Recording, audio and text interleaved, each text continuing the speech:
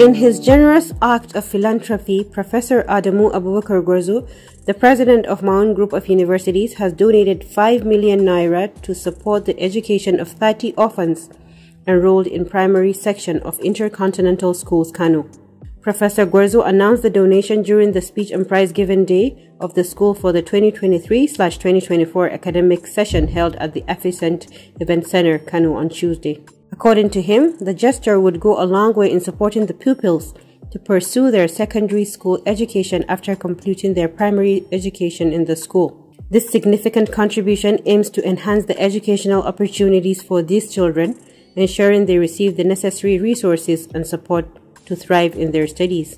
Professor Gwarzo also donated 2.5 million to the best graduating student at both primary and secondary school sections, including the two overall best graduating SS3 students who went home with 500,000 naira each. In his short remarks, Professor Gwarzo reminded parents of the need to give secondary school education priority, attention in view of its importance. He stressed the necessity for parents to invest significantly in the secondary school education of their children.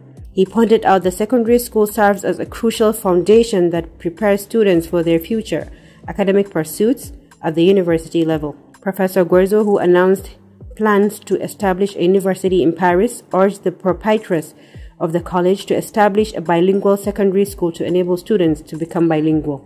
Earlier in their separate remarks, the founder of the school's engineer Yusuf Baba and Hajia Hadiza Nuhu Yusuf Baba praised Professor Adamu Abubakar Gwarzo for his significant contributions to education, particularly for establishing the best private university in Kano.